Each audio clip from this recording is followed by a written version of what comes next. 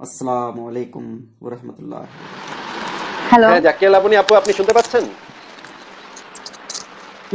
জি আমি শুনতে আচ্ছা আপনাকে দেখা যাচ্ছে না? আপনি কি দেখাতে চাচ্ছেন না নিজেকে?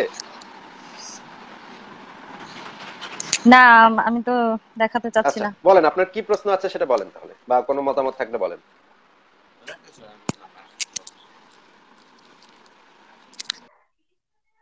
হ্যালো? হ্যালো? না উনি কেটে দিলেন। কেটে গেল বোঝা গেল না। আচ্ছা আরেকবার চেষ্টা করি জাকিয়া লাবণী ওনাকে। উনি বোধহয় একজন মুমিনা মনে হচ্ছে। উনি বোধহয় আরেকবার যুক্ত হয়েছিলেন আগে একবার যতদূর মনে পড়ে।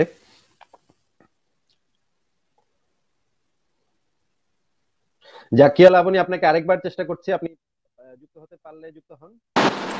তো আপনি কেটে জাকিয়া লাবণী আপনি কি কেটে দিলেন নাকি কেটে গেল?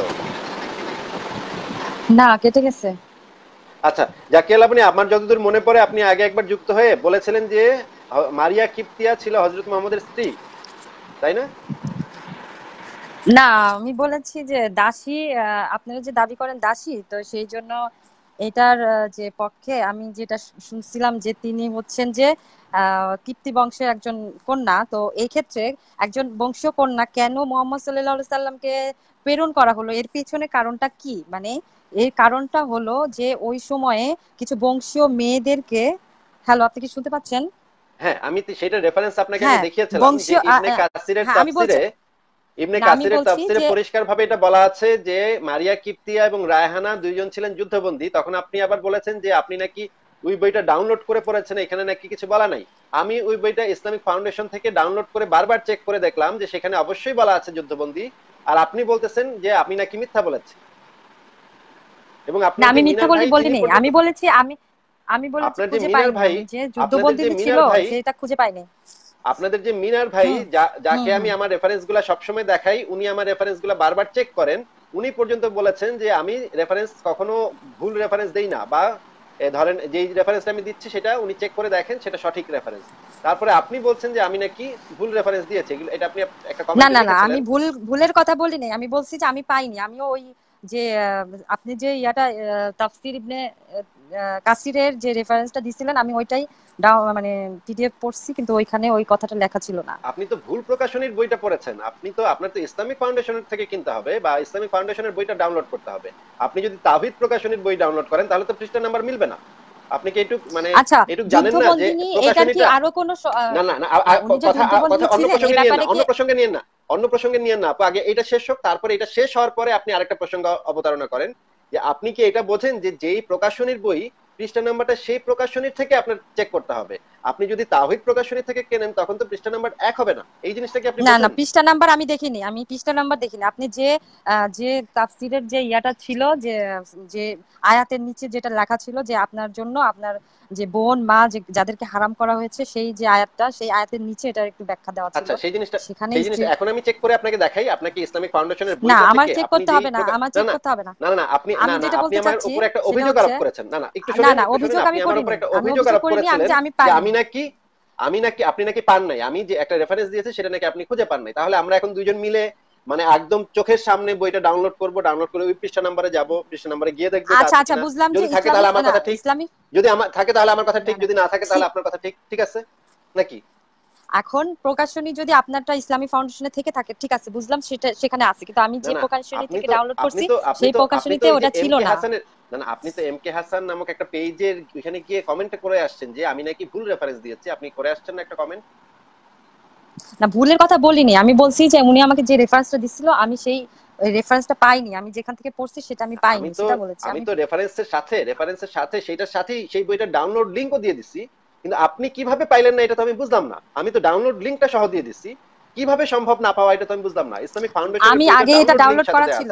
আমি আমার আমার। আগে ডাউনলোড করা ছিল আচ্ছা আমি আপনাকে এখন এখন তাহলে জিনিসটা আমরা চেক করি। আমরা তাহলে দুজন মিলে চেক করি আগে যে আমার কথা সত্য নাকি আপনার কথা সত্য সেটা চেক আচ্ছা করি আচ্ছা আগে। ঠিক আছে আমি আপনার কথা সত্য আপনি আমার উপর একটা- আপনার কথা সত্য আমি না না আপনি না না আমি আমি বললাম যে আপনার কথা সত্য। না না আমরা চেক আচ্ছা করে কনফার্ম হব করতে চাচ্ছি না আমি ধর আম- আমি আমি আপনি আমার উপর একটা অভিযোগ আরোপ করেন। বলছেন সেটা সত্য। আপু আপনি আমার উপর একটা অভিযোগ আরোপ করেন যে আমি আমি পাইনি। আমি ভুল বা মিথ্যা রেফারেন্স দিয়েছি আপনি পান নাই। আমি আসলে আমি আসলে যেটা বলতে চাচ্ছি চেক করি। আমি আসলে যে আমি যেটা বলতে চাচ্ছি যে আপনি এটা এই আলোচনাটা শেষ হোক টাইম আপনি করবেন না। আপনি টাইম নষ্ট করবেন এই আলোচনাটা শেষ হোক তারপর আপনি পরের আলোচনাতে যান। না না আলোচনাটা শেষ হোক আমার কথা শুনেন। পরের স্টেপে আমরা যাব। আমার আপনারা প্রসঙ্গ পাল্টান কেন? কথা বলতে পারব না। আমি বেশিক্ষণ কথা বলতে পারব না। আমি আপনারা অভিযোগ করেন। তারপরে আপনাদেরকে যখন আমরা আপনাদেরকে যখন আমরা চ্যালেঞ্জ করি তখন আপনারা তখন কথা পাল্টা ফেলেন। কথা তখন আরেকটা জিনিস নিয়ে না না না আমি তো চ্যালেঞ্জ করিনি আপনাকে। আমি বলছি যে আমি চ্যালেঞ্জ করতেছি। আমি আপনাকে চ্যালেঞ্জ করতেছি যে আপনি বলেছেন যে আমি আপনি নাকি পান নাই। আমি এখন আপনাকে চ্যালেঞ্জ করতেছি। অবশ্যই আছে এটা। আমি আপনাকে এখন বইটা খুলে দেখা দিব। এখন আপনি বলতেছেন অন্য বিষয় আচ্ছা আপনি আলোচনা করবেন এটা এটা নিয়ে আলোচনা করবেন না। কেন? আচ্ছা আমি তাহলে আপনি কেন? আপনি মানে এটা এই কথা বলছেন। আচ্ছা আমি অবশ্যই আছে ঠিক আছে আমি মানলাম অবশ্যই আছে। হ্যাঁ এখন আমার কথা যে এখানে আমি যে কথাটা আমি বিষয়টা ছেড়ে দিলাম। এখন আপনি সেকেন্ড আলোচনা আলোচনার পরের স্টেপে যান যে আমি বলেছিলাম যে মারিয়া হ্যাঁ। কিপ্তে হচ্ছে দাসী ছিল এবং আপনাদের মতো অনেকে দাবি করেছিলেন যে তিনি ছিলেন স্ত্রী। এখন আপনি কি এই বিষয়টা নিশ্চিত হয়েছেন যে উনি দাসী ছিলেন নাকি স্ত্রী ছিলেন?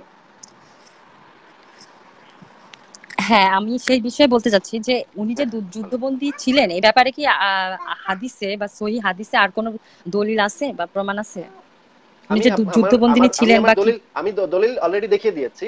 ইবনে কাসিরের শুধু তাফসিরে ওইটাই ওইটাই। আচ্ছা ইবনে কাসিরের তাফ- আচ্ছা তিনি কি ছিলেন? তাহলে আপনি বলেন কি তিনি কি ছিলেন এবং সেটার সপক্ষে হ্যাঁ। দলিলটা দেন। আমি তো আমার দলিল দেখালাম। আমার যতটুকু দলিল আছে আমি তো দেখালাম। এখন আপনার কাছে কি দলিল আছে এবং আপনার দাবিটা কি? সেই সপক্ষে দলিলগুলো দেখান আমাকে। ঠিক আছে আপনার জন্য ফ্লোর দিলাম। না উনি যুদ্ধবন্দিনী ছিলেন। এটা আপনি দলিল দেখাইছেন আমি বলি নাই আমি বলি নাই ইবনে কাসির তার তাফসিরে এটা লিখেছেন। আমি এটা আমার কথা না তো এটা আসিফ মহিউদ্দিন বলে নাই তো। ইবনে কাসির কিন্তু আর কোথাও কিন্তু আর কোথাও কি এটার ব্যাপারে রেফারেন্স আছে? মানে আর কোথাও থাকতে হবে কেন? আমি তো আমার রেফারেন্স দিয়েছি যে ইবনে কাসিরের তাফসিরে আছে। এখন কোরআনে আছে নাকি? আপনি যদি জিজ্ঞেস করেন কোরআনে কি এটা লেখা আছে যে মারিয়া কিপ্তিয়া যুদ্ধবন্দী ছিলেন কিনা? কোরআনে লেখা লেখা থাকতে হবে কেন? ইবনে কাসির এখানে বলছে যে তিনি যুদ্ধবন্দিনী ছিলেন এখানে কোরআনে কেন লেখা থাকতে হবে বা হাদিসে কেন লেখা থাকতে হবে বা ডিকশনারিতে কেন লেখা থাকতে হবে এটা তো আমি বুঝলাম না। তাফসিরে অনেক কিছুই লেখা থাকে যেটা ধারণা করা হয় বা অনুমান করে বলা আচ্ছা হয় সেটা আপনার কাছে যদি বেটার রেফারেন্স থাকে বাতিল বলে কাছে যদি বেটার রেফারেন্স থাকে যে সে যুদ্ধবন্দী ছিল না তাহলে আপনি সেই রেফারেন্সটা আমাকে উপস্থাপন করেন তাহলে আমরা দেখব যে কোন রেফারেন্সটা বেশি ভ্যালিড তিনি তো মিশর থেকে এসেছেন। তিনি তো মিশরের রাজা থেকে এসেছেন। সেখানে কি যুদ্ধ হয়েছে? না কি হয়েছে সে ব্যাপারে আর কোনো ডিটেলস আপু একবারও বলেছি হ্যাঁ সেটাই। এখন এখন যুদ্ধবন্দী যদি উনি উনি যদি যুদ্ধবন্দী হয়ে থাকে তাহলে সেই সেই যুদ্ধ যুদ্ধ হতো না। সেই তাহলে কি সেই যুদ্ধে রাজা তাকে পেয়েছে? যুদ্ধবন্দী হিসেবে পেয়েছে? সেই রাজা? এখন এ নিয়ে তো আপনি হয়তো বলতে পারবেন যে না হ্যাঁ সেই রাজা যুদ্ধবন্দী হিসেবে পেয়েছে সেই মিশরের রাজা। তারপরে সেই যুদ্ধবন্দিনীকে মোহাম্মদ সাল্লাহ সাল্লামকে উপহার হিসেবে দাসী হিসেবে পাঠিয়েছেন হ্যাঁ? তো উনি উনি পত্নী না উনি তার পত্নী ছিলেন না উনি দাসী ছিলেন। এটাও আপনাদের বক্তব্য। না আমাদের বক্তব্য না। আমি বলেছি আমার দাবিটা একটু শুনে নেন আগে। আমি বলেছি ইবনে কাসিরের তাফসিরে পরিষ্কার বলা আছে তারা উভয় যুদ্ধবন্দিনী ছিলেন। মানে মারিয়া কিপ্তে এবং রায়হানা। উভয়ই হ্যাঁ সম্পর্কে হ্যাঁ রাহেনা সম্পর্কে কিন্তু শেষ করতে দেন আমার দাবিটা শেষ করতে দেন। দাবিটা শেষ করতে দেন। দাবিটা শেষ করতে দেন। এই দাবির সপক্ষে আমি আপনাকে রেফারেন্স দেখিয়েছি ইবনে কাসিরের তাফসির এবং একই সাথে বলেছি যে হজরত মোহাম্মদ বিবাহ ছাড়া মারিয়া কিপ্তে এবং রায়হানার সাথে সহবাস করত এবং মারিয়া কিপ্তের গর্ভে ইব্রাহিম নামক শিশু সন্তানের জন্ম হয়েছিল যে সন্তানটা ষোলো মাস বা আঠারো মাস বয়সে মারা গেছে। ঠিক আছে? কোনো কোনো রেওয়ায়তে আছে ষোলো মাসে কোনো কোনো রেওয়ায়তে আছে আঠারো মাস। এই বয়সে মারা গেছে এবং আয়েশা যখন সেই বাচ্চাটাকে দেখেছিল বাচ্চাটাকে দেখে বলেছে যে এর সাথে তো মোহাম্মদের চেহারার মিল নাই কোনো। ঠিক আছে? এটা সহি হাদিসে বর্ণনা করা আছে। একই সাথে হজরত মোহাম্মদকে একজন ব্যক্তি এসে বলেছিলেন যে মারিয়া কিপ্তিয়ার সাথে অন্য এক লোকের আহ, মানে সম্পর্ক আছে যৌন সম্পর্ক আছে। তখন হজরত মোহাম্মদ আলীকে একটা তলোয়ার দিয়ে পাঠিয়েছিলেন সেই লোকটাকে গলা কেটে আসে তারপরে হজরত আলী যখন সেই লোকটার গলা কাটতে গেছে, তখন গিয়ে দেখে যে সেই লোকটা গোসল করতেছিল, দেখে যে সেই লোকটা হচ্ছে গিয়ে পুরুষত্বহীন। পুরুষত্বহীন হওয়ার কারণে সে আবার ফেরত এসে মহানবীকে বলছে যে মহানবী এত পুরুষত্বহীন, এত মারিয়া কিপ্তের সাথে কিছু করতেই পারে না। ঠিক আছে? তার মানে হচ্ছে হজরত মোহাম্মদ যেহেতু একটা লোককে পাঠায় দিছে তাকে হত্যা করতে মানে মারিয়া কিপ্তিয়ার সাথে যৌন সম্পর্কের অভিযোগ সে শুনে একদম তলোয়ার হাতে পাঠায় দিছে সেই লোককে হত্যা করতে। তার মানে তার মাথায় এই ধরনের ব্যাপার অবশ্যই ছিল যে মারিয়া কিপ্তিয়া হয়তো অন্য কারোর সাথে যৌন সম্পর্ক করছে বা করতে পারে। এরকম একটা কিছু তার মাথায় অবশ্যই ছিল। তাহলে তো তার মাথায় কি ছিল? না তার মাথায় কি ছিল সেটা তো আপনি এখন আপনাকে যদি আপনার স্বামীকে যদি কেউ এসে বলে না না, আপনার স্বামীকে যদি কেউ এসে বলে যে আপনার সাথে আলিমুদ্দিন নামক এক ব্যক্তির যৌন সম্পর্ক আছে এবং আপনার স্বামী এত ক্ষিপ্ত হইলেন, সাথে সাথে তার চেলাকে পাঠিয়ে দিলেন, তলোয়ার নিয়ে, যা আলিমুদ্দিনের গলাটা দুই ভাগ করে দিয়ে তার মানে হচ্ছে আপনার স্বামী আপনাকে যথেষ্ট পরিমাণ বিশ্বাস করে না। ঠিক আছে? আপনার প্রতি তার যথেষ্ট পরিমাণ বিশ্বাস না থাকলে এটা হওয়া সম্ভব। কিন্তু আপনার স্বামী যদি আপনাকে যথেষ্ট পরিমাণ বিশ্বাস করেন, যেমন ধরেন আমি আমার ওয়াইফকে যথেষ্ট পরিমাণ বিশ্বাস করি। কেউ যদি এসে বলে যে কানিজের সাথে অমুক ব্যক্তির যৌন সম্পর্ক আছে, আমি বলব ফাও কথা ফাও কথা শোনার টাইম নেই ভাই আমার। এত ফাও কথা আমি শুনতে চাই। আপনি আপনি যে ফাও কথা। বলতেছেন এই এই কথা যদি- এই কথাও আমার শোনার টাইম নাই। না না না না না না আচ্ছা আপনার টাইম না থাকলে তো আপনি আমার লাইভে কেন যুক্ত হয় কমেন্ট না না আপনি আমার কথা শোনার টাইম না আপনি থাকলে আপনি আমার লাইভে কেন যুক্ত হন এবং কমেন্ট এক- সারাদিন কমেন্ট করেন? আমার কথাটা শেষ হোক আমার কথাটা শেষ হোক তারপর আপনি আবার বলেন। যদি এরকম ঘটনা ঘটে যে আমাকে কেউ এসে বলে যে আমাকে যদি কেউ এসে বলে যে কানিজের সাথে পক পক নামক একজন কলিমুদ্দিন নামক একজন লোকের সম্পর্ক আছে। আমি বলব দূর বেটা যা মানে ফাও কথা বলার টাইম নেই, এই কথা বলব কিন্তু যদি আমার মনে সন্দেহ থাকে যে, আরে তাই তো থাকতেও পারে, তখনই শুধুমাত্র আমি একটা লোককে পাঠাবো যে, যা, ওর দুই কল্লাটা ফাঁক করে দিয়ে। হ্যাঁ শুধুমাত্র এটা তখনই সম্ভব একজন মানে স্বামীর বা একজন পুরুষের তখনই শুধুমাত্র মানে লোকটাকে হত্যা করতে আরেকজন লোককে পাঠানো সম্ভব যখন তার মনে সন্দেহ থাকে। সন্দেহ যদি না থাকে তাহলে এটা কখনো সম্ভব না। হ্যাঁ এখন আপনি এই জিনিসটা কি বোঝাতে চাচ্ছেন? আপনি- হ্যাঁ, বলেন না এই জিনিস কি বোঝাতে আমি চাচ্ছেন? বোঝাতে যাচ্ছি যে হযরত মুহাম্মদের অবশ্যই এই বিষয়ে সন্দেহ ছিল যে ইব্রাহিম নামক ছেলেটা তার ছেলে নাকি অন্য কারও ছেলে? যেহেতু আয়েশার সহি হাদিস আছে যে তার চেহারা দেখে আয়েশা সর্বপ্রথম যে কথাটা বলেছিল যে এটা কি সত্যি মোহাম্মদের ছেলে? এটা কি সত্যি নবী এখন আপনার ছেলে? আপনার ছেলে আপনার ছেলে দেখ আপনার ছেলের সাথে তো আপনার চেহারা মিল নাই। এখন যদি কেউ বলে যে আপনার ছেলের সাথে আপনার চেহারা মিল নাই তার মানে কি আপনার ওয়াইফের আপনার সাথে কি তার ওয়াইফে আপনার ওয়াইফের অন্য কারোর সাথে সম্পর্কের ফল ওটা? না আমার ছেলের সাথে আমার বলতেছেন যথেষ্ট চেহারা মিল মিল থাকতেই হবে। একটু একটু একটু মিল থাকতেই হবে না না এমন কোনো কথা আছে আমি বলিনি। এটা এ- মিল থাকতেই হবে এটা আমি বলি মানুষ তো অনেক সময় কমেন্টস করে এটা করতেই পারে। আমি এটা বলি নাই।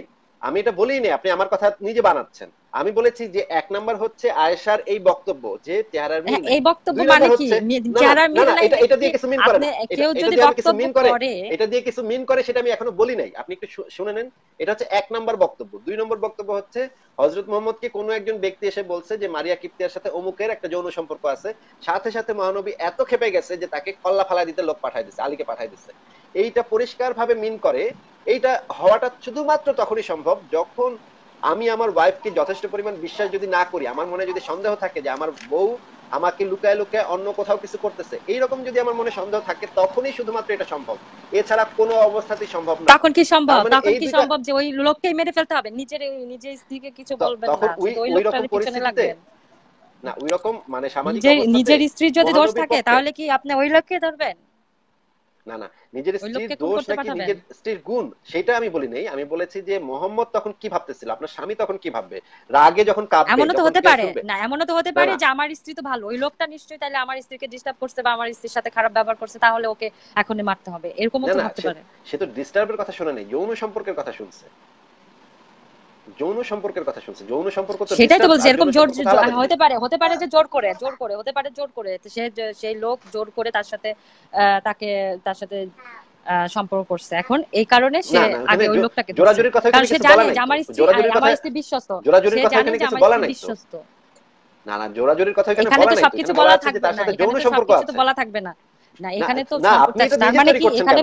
যে আমার আপনি তো নিজে তৈরি করতেছেন আপনি তো বলতেছেন যে আমি আমি একটা জিনিস নিজে তৈরি করছি না।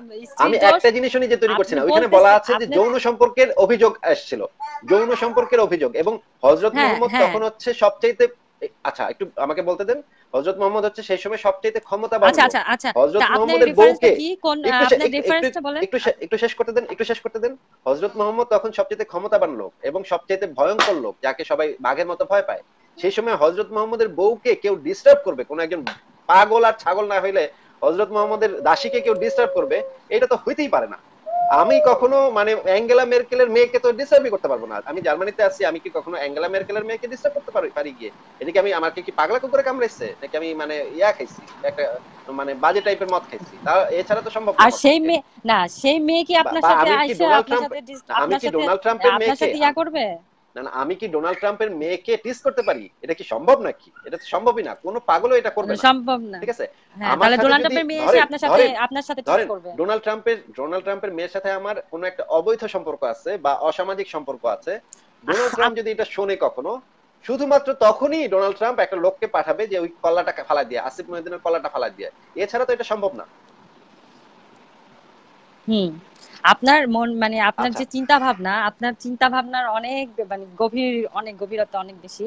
এই জন্য আপনি অনেক কিছু চিন্তা করতে পারেন গভীরতা বেশি না। আপনি আপনার হাজবেন্ডকে এটা গিয়ে একটু জিজ্ঞেস করবেন যে ধরো আমার হাজবেন্ড প্রথমে এসে আপ- আমাকে সার্চ করবে প্রথমে এসে আমাকে সার্চ করবে।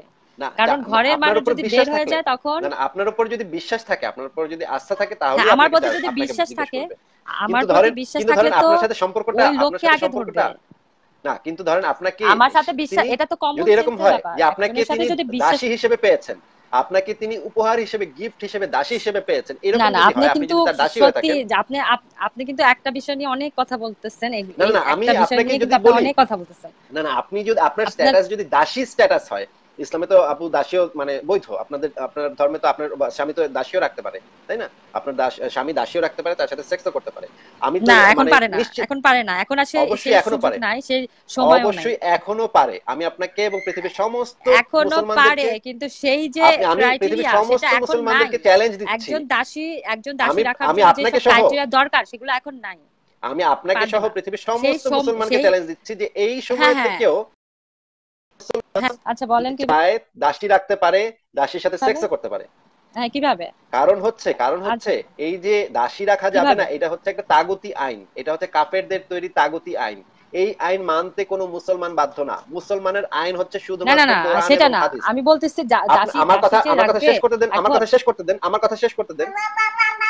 মুসলমানদের আইন হচ্ছে শুধুমাত্র কোরআন এবং হাদিস। এবং দাসী রাখা যাবে না দাস ব্যবসা করা যাবে না এটা হচ্ছে সম্পূর্ণ কাফেরদের তৈরি আইন। জাতিসংঘ এই বিষয়ে কথা বলেছে জাতিসংঘের রুলিং আছে এই বিষয়ে যে দাস রাখা যাবে না কাউকে দাস দাসী করা যাবে না। কিন্তু মুসলমানের কখনো জাতিসংঘের কাছে জাতিসংঘের থেকে কিছু শুনতে হবে এরকম কোনো কিছু নাই। মুসলমানের শুধু শুনতে হবে কোরআন এবং হাদিস। এছাড়া আর কারোর কথা তাদের শুনতে হবে না। আর কারও কথা তো শুনতেছি না। কোরআন হাদিসের কথাই আপনি আপনি আপনি যদি বলেন যে দাসী রাখা যাবে না হ্যাঁ, দাসী রাখা যাবে না কেন তার কারণ হচ্ছে জাতিসংঘের রুলিং আমি আপনাকে একটু শেষ শেষ করতে দেন। জাতিসংঘের রুলিং আছে এখন নাই। জাতিসংঘের সেই রুলিং আছে যে কোন দেশ এখন দাসী হতে জাতিসংঘের রুলিং আছে যে জাতিসংঘ থেকে রুলিং আছে যে কোন হ্যাঁ। দেশে দাস ব্যবসা চলতে পারবে না। এইখানে বাংলাদেশ সরকার গিয়ে সিগনেচার করে আসছে।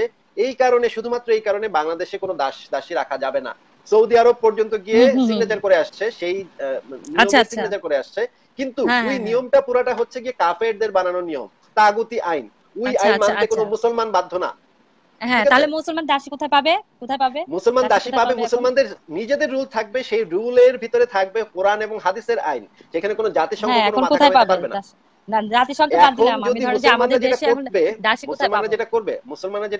বাংলাদেশে আপনারা যারা মুসলমান আছেন ইসলাম কায়েম করে বলবেন যে এই অঞ্চলে কোরআন এবং হাদিসের আইন চলবে কোনো জাতিসংঘের আইন চলবে না।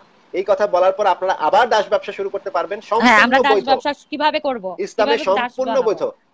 কীভাবে দাস বানাবেন সেটা হচ্ছে আপনারা মিয়ানমার এবং ভারত আক্রমণ করবেন তাদের মেয়েদেরকে তাদের হ্যাঁ পুরুষদেরকে জবাই করে তাদের মেয়েদেরকে গনিমতের মাল হিসেবে নিয়ে আসবেন এবং আপনার স্বামী যদি দশটা পায়ে ভাগে কাফের রাষ্ট্রকে আপনার আক্রমণ করতে হবে সেখানে ইসলাম প্রচার করতে হবে আপনার।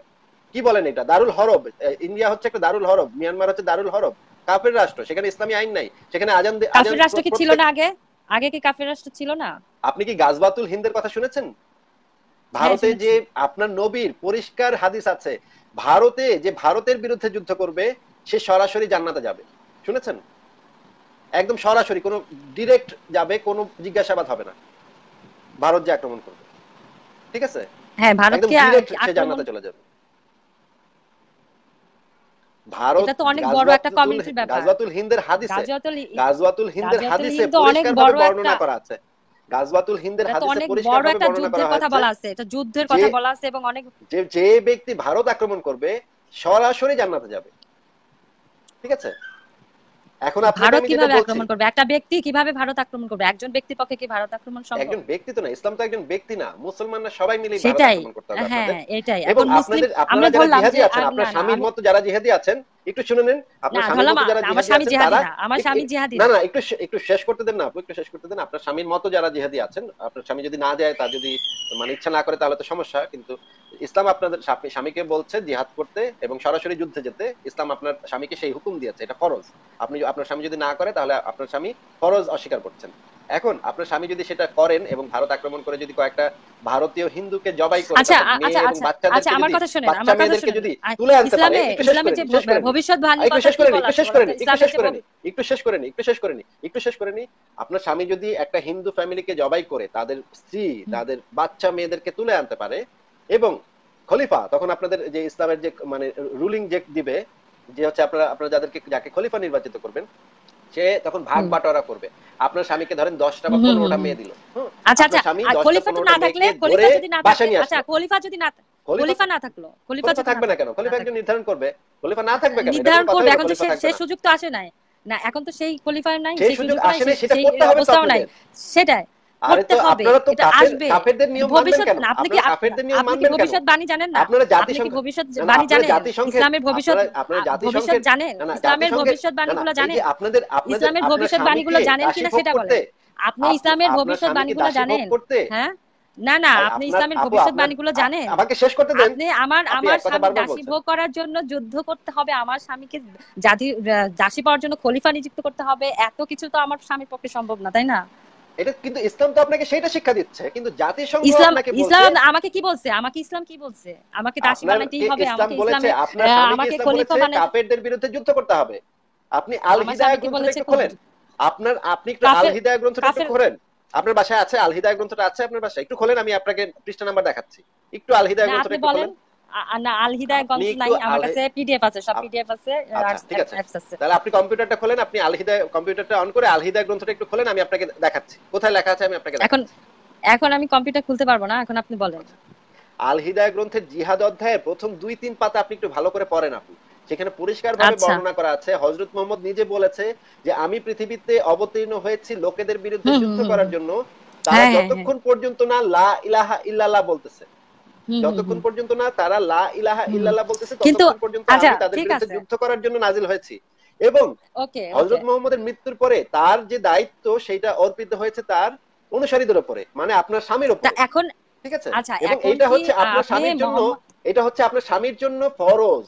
কোন মানে ইয়া না ওয়াজিব না ফরজ। আচ্ছা মানে আচ্ছা ফরজ ওকে ফরজ।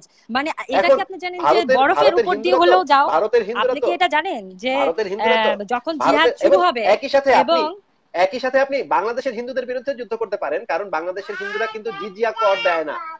ঠিক আছে? জিজিয়া কর না দিলে তাদের বিরুদ্ধে কিন্তু যুদ্ধ করার নিয়ম আছে। আপনি কি এটা জানেন? কেন যুদ্ধ করব? যদি না দেয় তারা তো আমাদের দেশ কি আমাদের আমাদের যে খলিফা আমাদের যে আমাদের দেশে যে খলিফা সে কি ইসলামিক মেনে চলতেছে? ইসলামিক তার আমাদের বাংলাদেশের তাহলে কেন আমি তাহলে কেন সে জিজিয়া কর দিতে যাবে? সেটা কর্তৃক না, নির্ধারিত আমাদের দেশে যে প্রধানমন্ত্রী আছে একজন নারী সে তো ইসলাম অনুসারে সে তো প্রধানমন্ত্রী থাকতে পারে না। তাহলে তাহলে আমাদের দেশ তো ক্ষমতা কোনো রুলসই মেনে চলছে না। আমাদের দেশ তো রুলসই হ্যাঁ, মেনে চলছে না। তাহলে সেটা সেক্ষেত্রে কীভাবে। সেখানে কীভাবে একজন মুসলিম একজন হিন্দুকে কেন কর না দেওয়ার তো। করবে বা তার সাথে সেটাই বলছি আপু যে বাংলাদেশে বাংলাদেশে এবং পৃথিবীর উন্নত দেশগুলোতে কোনো জায়গাতে ইসলামিক রুল এখন ফলো করা হয় না। কিন্তু। মুসলমান হিসেবে আপনার উচিত ইসলাম অনুসারে রাষ্ট্র পরিচালনার হ্যাঁ জন্য জিহাদ করা। কি করা? জিহাদ করব আমি। হ্যাঁ অবশ্যই আপনি সরকারের বিরুদ্ধে। একজন মুসলমান যদি দেখে তার রাষ্ট্রে ইসলামিক নিয়ম কানুন ফলো করা আপনি প্রচার করতেছেন? আপনি কি প্রচার করতেছেন? আপনি কি মুসলিমদের উদ্বুদ্ধ করতেছেন? না, এই- না একটা আপনি মুসলিমদের উদ্বুদ্ধ করতেছেন। আপনাদের আপনি মুসলিমদের উদ্বুদ্ধ করতেছেন। আপনার যে না না আপনাকে আপনার যে ভিডিও সেই ভিডিওতে আমি বুঝতে পারতেছি যে এখানে আপনি মুসলিমদের উৎসাহিত করতেছেন জিহাদ করার জন্য এবং এখন আমরা সরকারের বিরুদ্ধে জিহাদ করব এবং প্রধানমন্ত্রীর বিরুদ্ধে আমরা জিহাদ করব। আপনাদের এবং কি কারণে জিহাদ করব? আপনাদের আমাদের দাসী পেতে হবে। আমাদের দাসী পাওয়ার জন্য আমাদের দাসী পাওয়ার জন্য আমাদের জিহাদ করতে হবে অন্য কাফের সম্পূর্ণ আক্রমণ করতে হবে। ওদেরকে মেয়েদেরকে নিয়ে এসে আমরা জিহাদ করতে হবে দাসী পাওয়ার জন্য। আপনারা তাই তো? আপনি এটা শিক্ষা দিচ্ছেন মুসলিমদেরকে।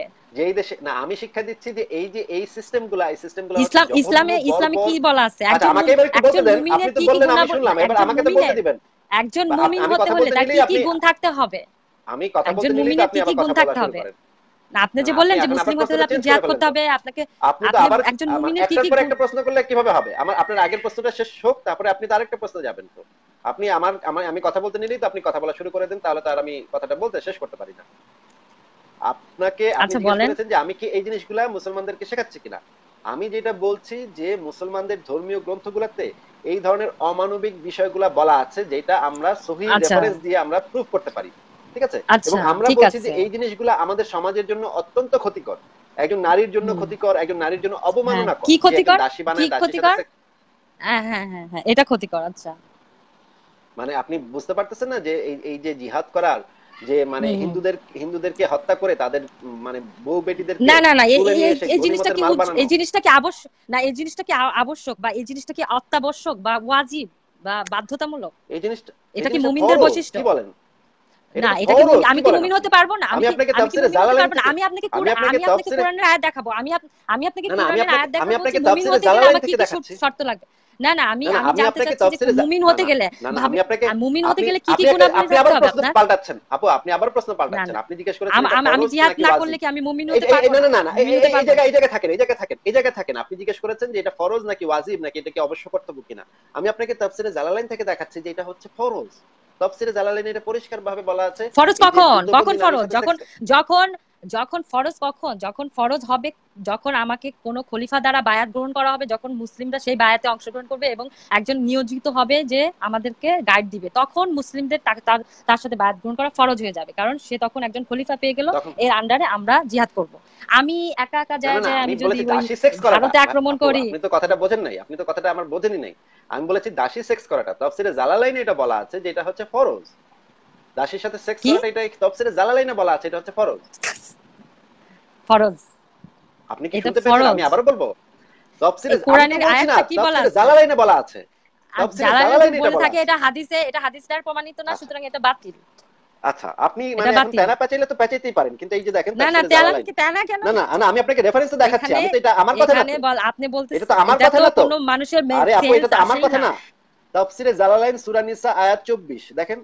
আয়াত 24 এখানে লেখা আছে, তবে তোমাদের দক্ষিণ হস্ত যাদের মালিক হয়ে গেছে, বাদীদের থেকে যারা যুদ্ধবন্দী হয়ে তোমাদের অধীনে এসে গেছে, তোমাদের জন্য তাদের সাথে ইস্তেব রায়ে রেহেমের পূর্ব স্বামীর পানি থেকে জরায়ু মুক্ত হওয়ার পর সহবাস করা জায়েজ আছে।